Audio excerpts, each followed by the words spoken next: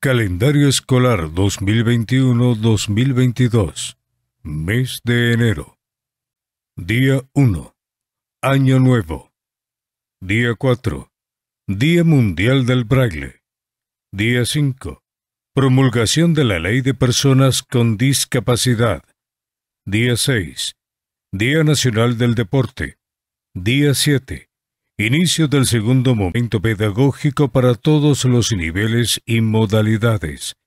Del día 7 al 31, inicio del proceso de la modificación de la matrícula periodo escolar 2021-2022 en el sistema de gestión escolar.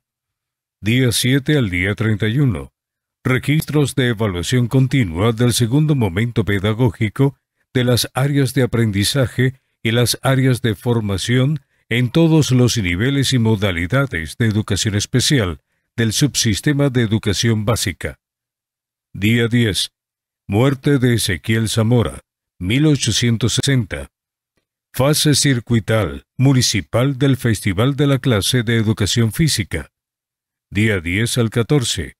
Encuentro deportivos, recreativos del personal del Magisterio. Día 12. Natalicio de Juana Ramírez, la Avanzadora, 1790. Día Nacional del Títere. Día 15. Día del Maestro y la Maestra. Creación de la Sociedad Bolivariana Venezolana de Maestros de Instrucción Primaria, 1932. Día 17. Fiesta Pedagógica. Así se trabaja en escuelas bolivarianas. Semana del Deporte y la Recreación en Educación Primaria. Del día 17 al 31, Reto Estudiantil de Ciencias, Fase institucional. Día 18. Lanzamiento del proceso formativo de las voceras y voceros del MBF. Del día 18 al 29, juramentación de brigadas de seguridad escolar conformadas y debidamente capacitadas. Día 21. Llegada de José Martí a Caracas, 1881. Coloquio curricular. Día 23.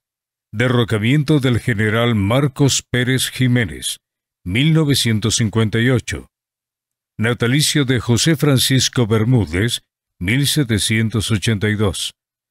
Día 24. Evaluación del tercer momento del área pendiente en el nivel de educación media general y media técnica. Del día 24 al 28, Directorio Nacional del MBF. Día 26. Día Mundial de la Educación Ambiental. Día 28. Conmemoración de los pioneros en la creación y aportes de la micromisión Simón Rodríguez en Venezuela. Día 29. Día del Trabajador Social. Día 30. Día Escolar de la Paz, Convivencia y No Violencia. Conmemoración de la muerte de Mahatma Gandhi. Día 31. Muerte de José Félix Rivas, 1815.